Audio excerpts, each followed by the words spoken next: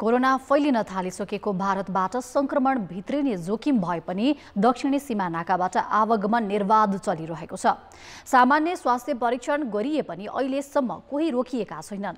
भारत र तेस्रो मुलुकबाट आउने सामग्रीको आयात पनि प्रशस्त भइरहेको सरकारी अधिकारीले बताएका छन्। नोभेल कोरोना भाइरसको त्रास बढेपछि पनि सदाझै रानी नाकाबाट मानिस आवजावत गरिरहेका छन्। किनमेल र रोजगारीका लागि आवजावत गर्नेले सीमा क्षेत्रमा रहेका दुवै देशका हेल्थ डेस्कमा ज्वरो भने नाप्नुपर्छ। आउने जानेमा खासै रोकटोक होइन अब रोग लागेको छ कि छैन भनेर चेक गरेर उहाँहरूले आउन जान दिनुभएको छ। हामीहरूलाई केही फरक परेको छैन। हामी डेली बिहान बेलुका जान्छु आउँछु। ड्युटी गरेर आउँछु। सरकारले भिडभाडमा नजान जरुरी काम बाहेक घर बाहिर ननिस्कन भने पनि खाद्यान्न लत्ता कपडा भान्साका सामग्री लगायतका सामग्री लिन सर्वसाधारण सीमावर्ती बजार जोगबनी जाने गरेका छन्। सामान्य अवस्थाको भन्दा अहिले जोगबनी जानेको सङ्ख्या आधाले घटेको छ र यो घट्दो क्रममा रहेको छ। मानिसको आवत जावतमा कमी आए पनि औद्योगिक कच्चा पदार्थ र उपभोग्य वस्तु निर्वाध रूपमा नेपाल भित्रिरहेको छ।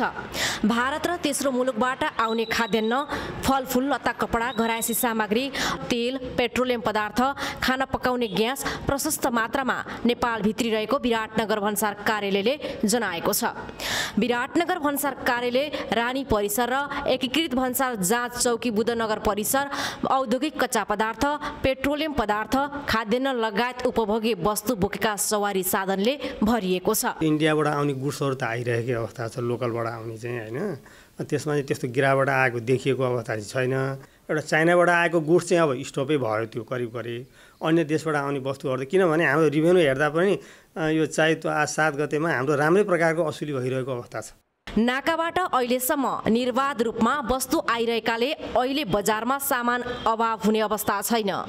आयात हेर्दा बजारमा सामान अभाव नहुनुपर्ने हो तर बजारमा अभाव सिर्जना गरे कृत्रिम मूल्य वृद्धि भएकाले राज्यले आफ्ना सबै संयन्त्र परिचालन गरी बजार नियमन गर्ने कि?